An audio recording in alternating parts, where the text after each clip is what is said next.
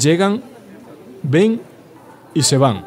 Los japoneses visitan Córdoba en apenas unas horas. Tres años viviendo en Japón le han servido a Isabel Calvache, creadora de Caracol Tour, para saber que el japonés tiene una conexión especial con España. El japonés es un enamorado de, de España, de nuestra cultura. Entre Japón y España es uno de estos, tan diferentes y entonces, claro, atrae.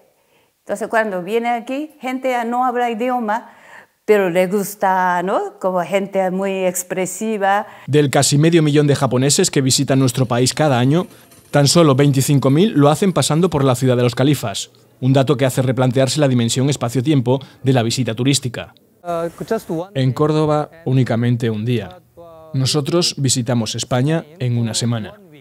Acercar al turista japonés a las tradiciones y hacer así que prolongue su estancia en la ciudad es el objetivo de este nuevo concepto conocido como turismo lento, que busca contribuir al desarrollo sostenible y al enriquecimiento económico del sector turístico cordobés.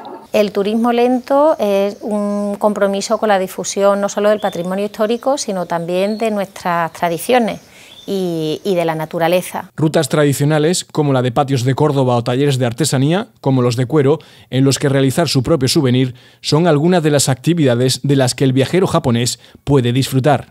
Esta es la imagen de Córdoba que yo quiero transmitir con el turismo lento, una Córdoba muy auténtica y una Córdoba que sea para quedarse y, relajarse y entenderla. Yoroshiku onegaishimasu. Arigatou gozaimasu.